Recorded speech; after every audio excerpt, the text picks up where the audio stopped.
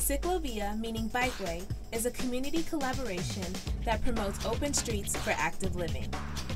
The New Brunswick Ciclovia is a global movement that started in Bogota, Colombia, and is designed to teach the community to embrace more energetic lifestyles in order to improve health and wellness.